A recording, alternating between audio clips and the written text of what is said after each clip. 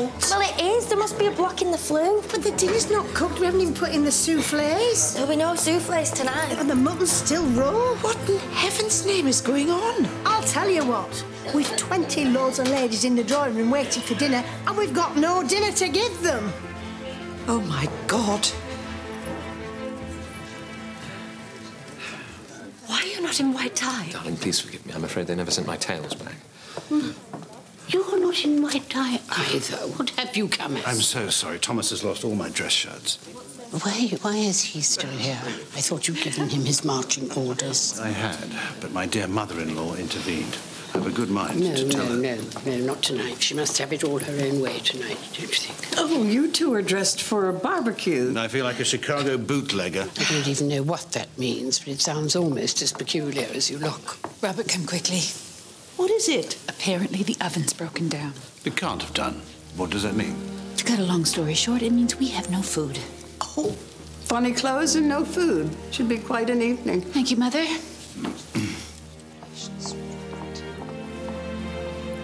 Nothing's cooked. And nothing's going to be cooked. But surely, shall we just tell them to go home? No, Cora, please, come on. They've come for a party. We're going to give them a party. Carson, clear the table. You go down to the larders. You bring up bread, fruit, cheese, chicken, ham, whatever's edible. We're going to have an indoor picnic. They're going to eat whatever they want, wherever they want, all over the house. Are you quite sure, madam? It's not really how we do it. How you used to do it. Oh, come on. It might be fun. I agree. We'll all pull together and it'll be great fun. Yes. Now I know what we need. Does anyone here play the piano? Oh, Mama, this is so exactly not what we wanted the evening to be. If it's the end of your undignified campaign, I won't be sorry. We can't just give up. Certainly not. Oh, do you think I might have a drink? Oh, I'm so sorry. I thought you were a waiter. Now, all of you, find whatever it is you want to eat and take it wherever you want to sit. Anywhere? Anywhere, all over the house. If any of you have ever wanted to explore Downton Abbey, this is your chance. I'm sorry if it's all a bit casual. It's exciting, Lord Grantham. I feel like one of those bright young people they write about in the newspapers. Thank you, Lady Melville. Cheer up. She won't be here forever. But how much damage will be done before she goes? Let me call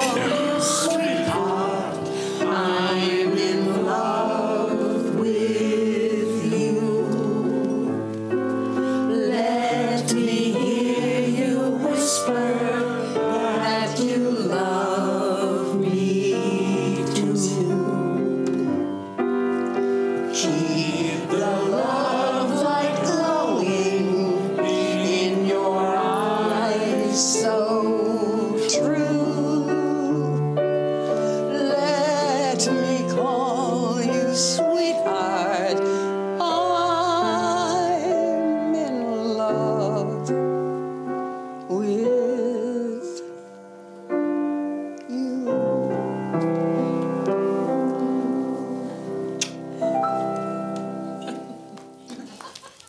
This evening has made me homesick for America. It's time to go. I don't suppose you want some whiskey to take to bed?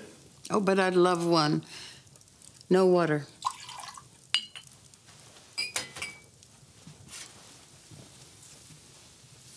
Thank you. I'm sorry I can't help you keep Downton, Robert. That's what Mary wanted. Ah. I thought there was something. You know, the way to deal with the world today is not to ignore it. If you do, you'll just get hurt. Sometimes I feel like a creature in the wilds whose natural habitat is gradually being destroyed. Some animals adapt to new surroundings. It seems a better choice than extinction. I don't think it is a choice. I think it's what's in you. Well, let's hope that what's in you will carry you through these times to a safer shore.